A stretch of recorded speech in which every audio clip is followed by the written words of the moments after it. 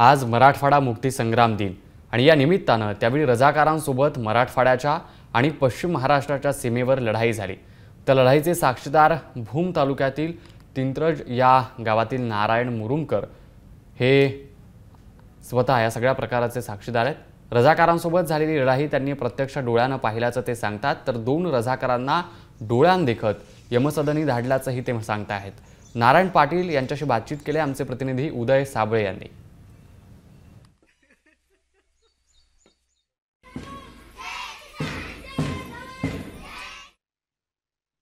आज मराठवाडा मुक्ती संग्राम दिन.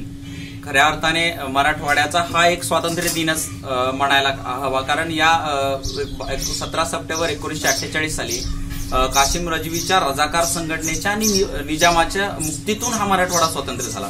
आणि त्यासाठी सरदार वल्लभभाई पटेल यांच्या मुळे हा मराठवाड्यात स्वातंत्र्य मिळालं. परंतु त्या क्षणाच्या ऐतिहासिक क्षणाचे साक्षीदार नारायण पाटील आपल्यासोबत आहेत. दादा अ, कशी झाली लढाई त्या काळात? भेगा भेलं कोणी जात नव्हती हे होत होती. पण काय झालं? चुकून हम्म, आमचीवाली कोण? आली लोक. हम्म, इथून आमच्या मनातून हम्म, चुकून असे इथून गेले? तर त्या केला मी माग वसवण्यात लेबावर येऊन पाहत होतो.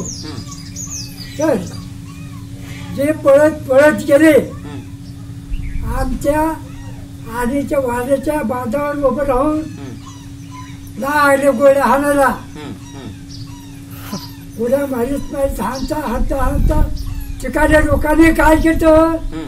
सगळे दंडाच्या खाली पोलिसनी सगळं सांगितलं होतं की असं तुम्ही सरळ पडतो पडा गोळ्या काही केल्याची येते सरळ जाते तर हात येते हा, हा, हा, तर सगळी वाढली. हे दारूच्या ह्याच्यात उड्या मार मारू उड्या मार मारू हाणाचे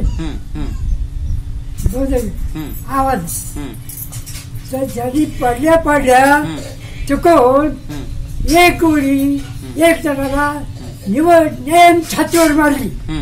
जे टणकीन उडाला परत मग ते पटकीने पाडा. जेव्हा बाकीचे पळतात. ते आमच्या वावरातून खाली मग उठले सगळे. जेव्हा जेव्हा सगळं बा- लाडू बा सगळं माणूस माग माग पळते ते पुढं. पळत पळत पळत. नदीच्या खालचा गेल्यानंतर एक हाण लागली. की बस. त्याला वडीत नेली त्याला चागड्याला जरवून नेली हम्म. बाकीचे कुठे गेले त्याचा पता लागला किती किती लोक मारले होते? किती रजाकार मारले त्या काळात? दोन मारले दोन दोन तुमच्यासमोर दोन रजाकार मारले. दोन सोळा दादा रजाकार काय शेतकऱ्यांवर अन्याय करत होते? हा शेतकऱ्यांवर काय अन्याय करायचे रजाकार? शेतकऱ्यावर हम्म, काय हम्म, शेत आणलंय करायची काय? हम्म. हम्म, खाण्यासाठी? हम्म, हम्म, हम्म. पैसे मिळण्यासाठी? हा हा. तुम्ही काही बी केलं म्हणायचं? हा. माल नेला. हा हा. असं केलं. हा. तिकडे गेलता. हा. तुम्ही त्या लोकांना साथीस हम्म, असं काही म्हणायचे. त्याला घ्यायचे पैसे मारून तुमच्याकडून किती रुपये घेतले होते रजाकारांनी? माझ्याकडून शंभर घेतले. शंभर.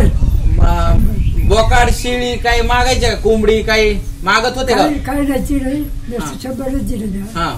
आता गावात तर किती जणांकडून पैसे घेतले रजाकारांनी? तुमच्यासमोर तुम्हाला सांगता येते का? बाबू साहेबाचे दोनशे. हा. नामदेव साहेबाचे पचऱ्याचे दोनशे दोनशे हा. आता दादा पैसे नाही पैसे एखाद्या शेतकऱ्याकडे पैसेच नसतील तर मग काय करायचे त्यांना? जोडी जोडी घेते मारायचे त्यांना पैसे नाही हा, मग. जब जेव्हा कबूल होईल तेव्हा सोडायचे घ्यायचे. पैसे घेतले सोडित नव्हते. आत्ताच आपण एकोणीसशे अठ्ठेचाळीस सतरा सप्टेंबर एकोणीसशे अठ्ठेचाळीस साली झालेल्या लढाईचा किंवा रजाकारांसोबत झालेल्या लढाईचा प्रसंग ऐकला. दादा त्यावेळी लढाईच्या दादा सांगतायत की मी माझ्या स्वतःच्या डोळ्याने बघितले आणि दादा स्वतःचं वय सांगताना एकशे सात वर्षापर्यंत सांगतायत. त्या काळात नसेलही जन्मतारीख टिपून ठेवायची सवय नसेल किंवा टिपून ठेवत नसतील किंवा त्या काळात सगळीकडे शिक्षण असेल परंतु ते सांगतायत की मी त्यावेळी पाटील होतो. सांगायचं तात्पर्य हेच आहे की त्यांना आज जरी दिसत नसलं तरी ते तेवढ्याच अभिमानानं तेवढ्याच शौर्यानं ते ती कथा सांगतायत ती गोष्ट सांगतायत. खरंच ही आपल्या सर्वांसाठी एक अभिमानाची गोष्ट आहे. रजाकारांनी त्या काळात केलेले अन्याय किंवा रजाकारांचा त्या काळात झालेला सामान्यांवरती अन्याय असेल ह्या सर्व गोष्टींचा आता आपण सर्व गोष्टी ऐकल्या. Camera person Ravi Swami Uday Sable M news Bhoom Osmanabad.